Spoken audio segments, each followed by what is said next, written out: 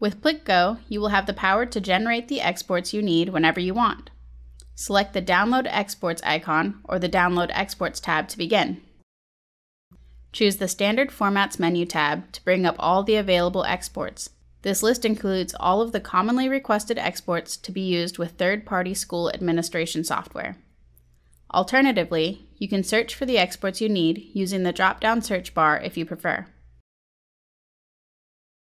Once you have located the export, click the Download button to be taken to the configuration settings.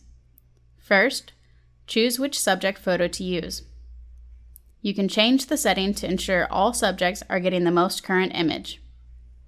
Next, determine which subjects to include in the export. The default option will include everyone, but you may change the settings to select specific individuals, grades, classes, or keywords.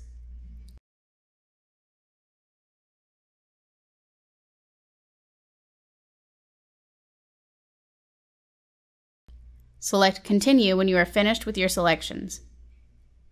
A standard first name, last name, student ID duplicate search will be performed for every export to help locate any subjects with multiple matching records. Add or remove data fields to the search to help eliminate any unwanted duplicates.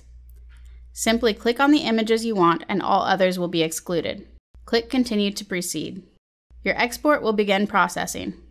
You can remain in the Export Setup window to view the progress or navigate freely throughout the site as your exports generate in the background. Once completed, click the Download button in the Progress window or navigate to the Downloads tab to view all previous and current exports created for your school. Click the Download button to save the files to your computer. The export is now ready to use for your administrative needs.